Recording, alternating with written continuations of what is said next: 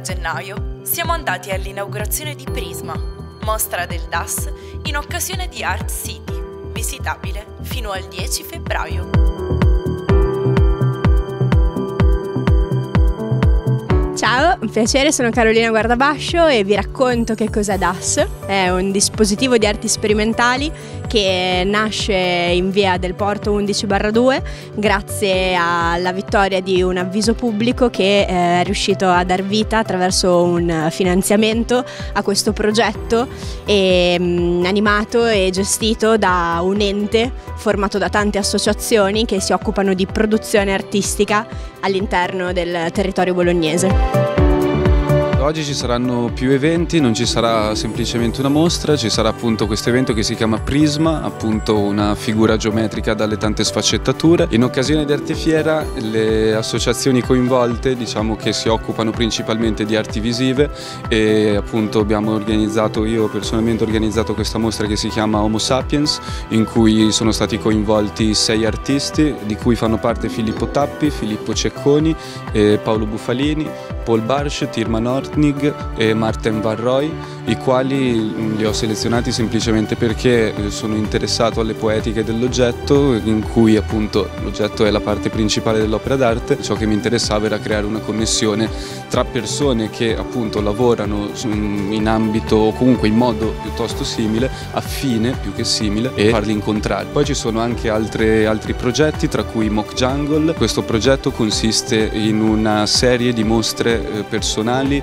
di videoartisti che vedranno trasmessi i propri, i propri video all'interno di questo schermo eh, in loop per circa due settimane, quindi si tratterà di un progetto che inizia in occasione di Art City e Arte Fiera, ma, non, eh, ma diciamo che non si fermerà dopo, dopo, la fine di questi eventi, ma proseguirà per tutto l'anno all'interno degli spazi di DAS. Poi andando avanti abbiamo altri, altri due progetti video che sono i racconti di nessuno, Nobody's Tales, di Lele Marcoianni eh, in cui appunto il, gli spettatori eh, potranno fruire un libro in un modo piuttosto insolito e inaspettato. Poi all'interno della, della, nuova stanza che è stata costruita all'interno degli spazi di DAS eh, ci sarà l'installazione di Pietro Alex Marra in cui appunto è partito proprio dal, da quelli che sono gli elementi eh, fondamentali della nostra coprogettazione, del nostro lavoro per realizzare una, una videoproiezione. L'evento Prisma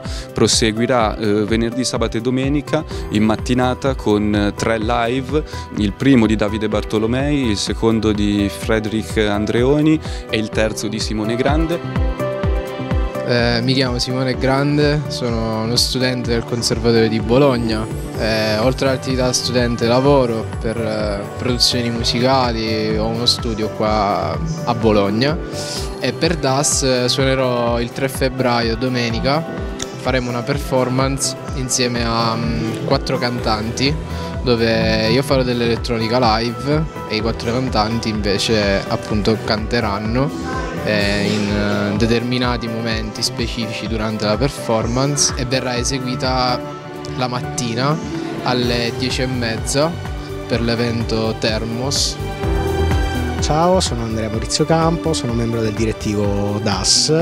e con Alex Pietro Marra abbiamo realizzato questa installazione video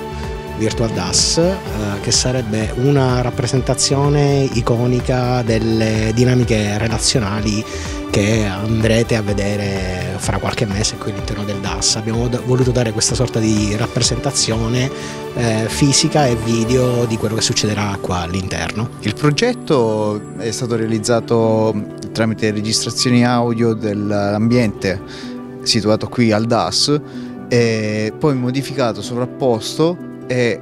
la parte video è tutta un intreccio di passaggi perché il posto dove stiamo